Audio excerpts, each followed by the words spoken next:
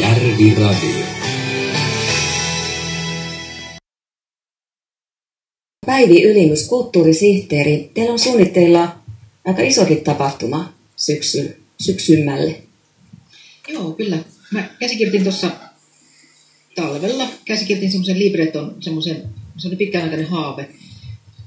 Tähän kun on semmoinen legenda Virolla tommonen Inkeri Kurki, taru, sieltä toriseva kalliolta, niin mä siihen jotenkin pitkään jo olisin halunnut tehdä semmoisen tarinan ja sitten mä ajattelin, että mäpäs teen siihen, kirjoitan libreton, niin kansanooppera.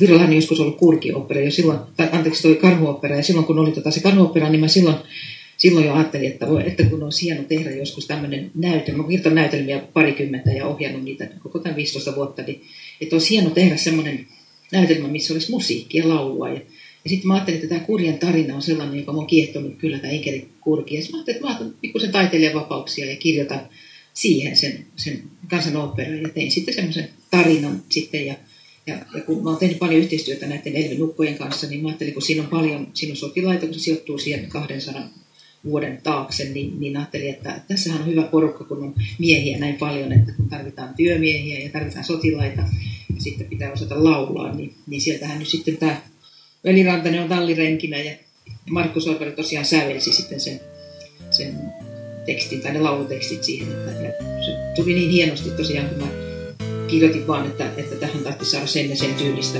musiikkia ja laulua, niin tuli kohtelihyllyltä sitten. Oli kyllä, mä mä oon tosi innossani ja tyytyväinen siihen, että nyt kun se porukka, siinä on 30 henkeä tekemässä sitä operaa, niin, niin tota, tässä pitkin kevättä, kun on sitä harjoiteltu ja tehty, niin rupean itsekin käsittää, että kuinka iso juttu siitä tulee ja, ja tosi taitavia on nämä esiintyjät, vaikka kaikki on ihan virtuaalaisia harrastajia, niin mutta alkaa olla kyllä niin hienoa.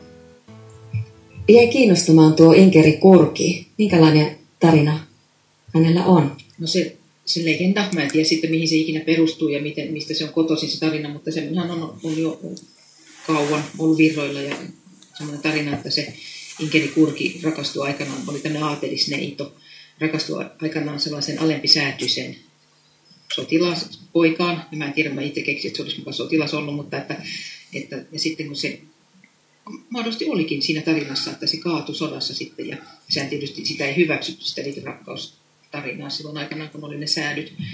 Niin sitten tämä Inkeri kuuli siitä, että se oli kaatunut siellä sodassa, niin se heittäytyi alas sieltä Inkerin kalliota. Siellähän on Virtaan todisevalla on nimetty oikein tämä Inkerin ja siellä on, se on se kaksi pientä kuoppaa vierekkäin, että se tarina kertoo, että Inkeri siellä käveli rukoilemassa, siellä oli polvillaan, että kuului sellaiset jäljet sinne kalliolle. Niin sitten kun se kuuli siitä, että tämä sotilas oli kaatunut, niin se heittäytyi alas sieltä, että vieläkin kuulemma sateisina öinä voi kuulla, kun se itkee siellä. Oikein traaginen tarina. Ja milloin tämä esitys saa ensi No mun syksyä on ajateltu, että riippuu vähän siitä, että miten me saadaan valmiiksi. Me on päätetty Markun kanssa, että me ei sitä sitten lasketa liikkeelle ennen kuin se on valmis täysin. Se on kuitenkin niin iso, iso projekti ja paljon semmoisia eri osa-alueita siinä. Että, että sitten syksyllä kuitenkin, tai siis siellä, no sanotaan, että tämän vuoden loppupuolella tallirenki on samaa mieltä, että ei päästetä sitä keskeneräisenä. Katsotaan vasta sitten, kun se on valmis. Tuo on ihan hyvä asenne. On jo koko talvi niitä on mietitty ja omellaankin tietysti itse aika paljon.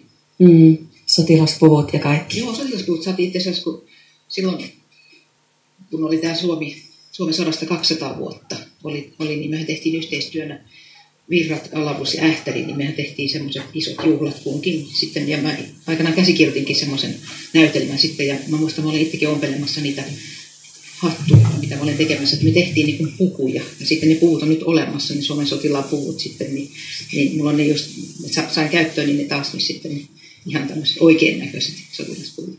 Hienoa. Tulee varmasti hieno juhla ja esitys. Oletteko ajatellut monta kertaa sitä esittää? No mä ajattelin, että niin kauan kuin yleisö riittää, niin esitetään. Kyllä, mahdollisesti koko talvi. Mm.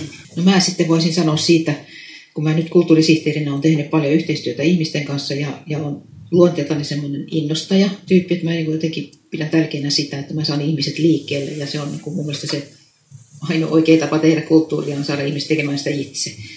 Ja just tässä on niin kuin hyvä esimerkki nyt tässä Kurkioopperassa taas se, että, että kun on paljon sellaisia ihmisiä mukana, jotka ei niin kuin, ole tällaista tehnyt ennen, se, että miten innostuneita ne on siitä, kun ne ne tajuaa, että kuinka helppoa se loppujen lopuksi, on sitten se niin kuin teatterin tekeminenkin, että se kun vaan heittäytyy mukaan siihen ja on innostunut, niin mutta se, että se antaa mulle niin paljon se, että mä näen sen ihmisen kasvun siinä, että kun se tulee mukaan arkana ja, ja sanoo, että en ainakaan sitten yhtään repliikkiä sano, niin sitten kohta se jo laulaa siellä mukana muiden kanssa. Että se on, niin kuin, se on aina yhtä palkitsevaa se, että kyllä niin kuin, että, että ihmiset kun tulee tätä katsomaan sitä aikanaan, niin kannattaa pitää mielessä se, että, että seuraavan kerran kun tulee tilaisuus, niin ei kun mukaan. Se antaa niin paljon.